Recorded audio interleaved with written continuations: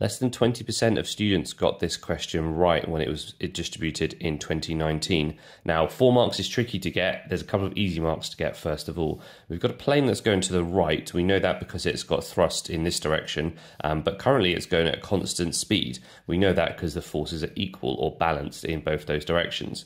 So it says explain the forces needed to change so the airplane can land.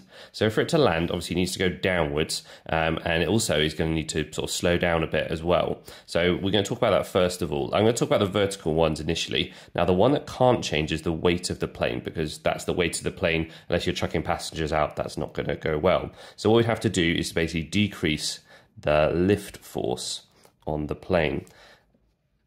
And that's then going to mean there's an overall bigger resultant force in this direction.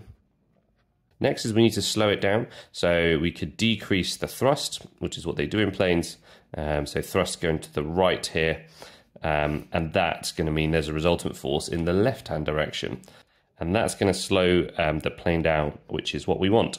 So that's a really, really like easy four marks if you know how to talk about these things uh, one thing at a time.